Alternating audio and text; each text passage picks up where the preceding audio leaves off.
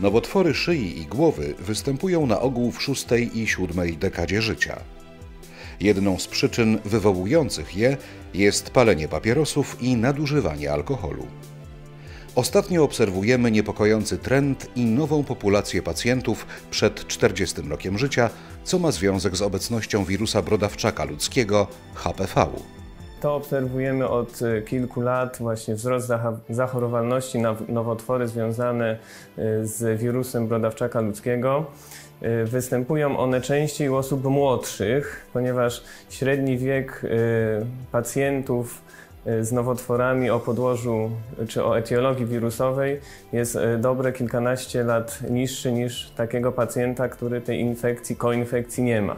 To są zazwyczaj pacjenci około 40 roku życia, podczas gdy chorzy, u których głównym czynnikiem jest palenie papierosu, to są pacjenci 55-60 rok życia. Nie jest to tak, że dzisiaj się na przykład mamy infekcję wirusem brodawczaka ludzkiego i za dwa tygodnie będziemy mieli nowotwór. Absolutnie tak to nie jest. To jest okres 10-15-letniej całej transformacji nowotworowej i możemy powiedzieć, że zakażenie wirusem brodawczaka ludzkiego, które powoduje tą transformację nowotworową, to jest tylko granicach, bym powiedział, 8 do 10% albo jeszcze mniej. Więc nie, nie, jest to informacja, która by miała nas zmrozić, ale jednak y, te infekcje brodawczaka ludzkiego we wczesnym okresie tak, dorastania, jeżeli ktoś ma i jest to związane z pewnym też sposobem życia, szybką inicjacją sek- seksualną, prawda, ilością partnerów, to jest związane z pewnym ryzykiem i za 15-20 lat może dojść do właśnie tej transformacji nowotworowej. Nowotwory głowy i szyi mają wyjątkowo negatywny wpływ na jakość życia pacjenta, między innymi z uwagi na ich widoczność czy upośledzenie podstawowych funkcji życiowych, jak jedzenie czy picie. Nasi pacjenci po leczeniu onkologicznym w zakresie głowy i szyi mają bardzo mocno obniżoną jakość życia. Mają problemy z połykaniem, mają problemy y, z oddychaniem, mają obniżoną wydolność fizyczną, mają przewlekłe zmęczenie, y, są zdemotywowani do dalszych czynności dnia codziennego, do rekreacji y, fizycznej. Więc celem stowarzyszenia jest pomóc im wrócić do normalnego życia, tym samym podnieść jakość życia. Nasi pacjenci borykają się z problemami nie tylko jako od spadku jakości życia, ale to na przykład też wpływa na to, że większość z naszych pacjentów ma trudności z powrotem do pracy. Podstawową zasadą leczenia jest chirurgiczne wycięcie guza wraz z marginesem zdrowej tkanki przy możliwie jak najmniejszym okaleczeniu fizycznym i czynnościowym pacjenta. Często też włączana jest chemioterapia wraz z radioterapią. Często jest ten zaawansowany proces nowotworowy i chory nie może być leczony operacyjnie i dostaje na przykład radiochemioterapię albo i później ma wznowę. Bo to, to trzeba też sobie wyraźnie powiedzieć, że w nowotworach głowy i szyi 30% chorych ma wznowę procesu nowotworowego. Wówczas możliwością skutecznego leczenia jest nowa, przełomowa immunoterapia, dająca chorym nadzieję.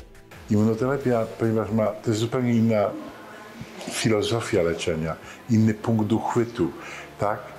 To daje tym chorym, jeżeli jest dobra reakcja na to leczenie, rzeczywiście na nie tylko jakość życia, ale również na konkretne pozbycie się problemu, czyli pozbycie się tej wznowy. Często leczenie w chemioterapii, to leczenie paliatywne powoduje, że ten proces tylko trudno jest go zlikwidować, problem, tylko on, żeby się dalej nie rozwijał. A immunoterapia powoduje, że on się nie tylko nie rozwija, ale że on znika. To jest zasadnicza różnica. Ale każdy reaguje na to leczenie indywidualnie. Immunoterapia y, dla pacjentów y, z rozpoznaniem y, raków głowy i szyi nie jest dostępna. W chwili obecnej jest to możliwe tylko w ramach badań klinicznych i no, u, u nas w klinice pacjenci otrzymują immunoterapię jedynie w takich programach, w badaniach klinicznych.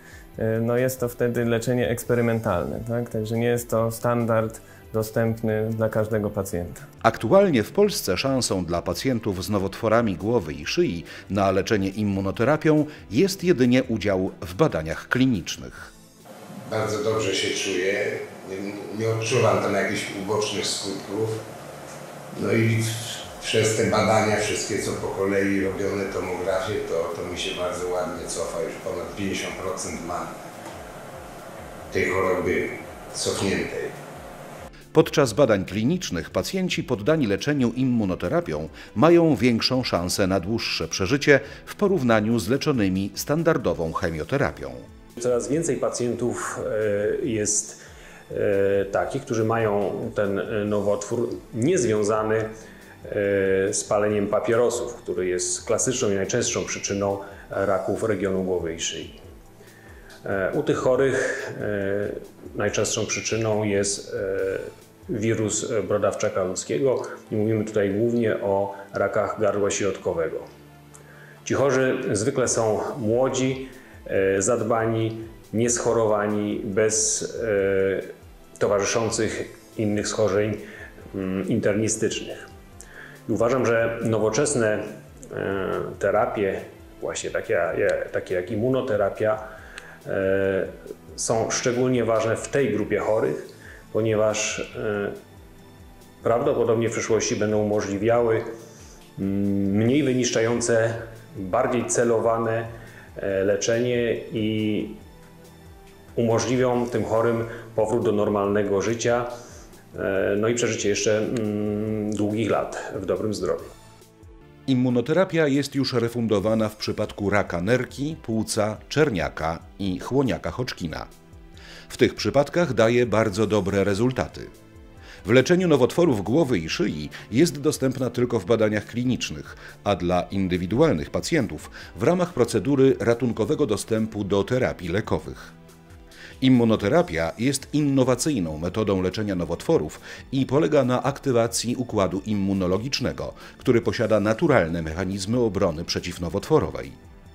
Polscy pacjenci z nowotworami głowy i szyi czekają na jej refundację.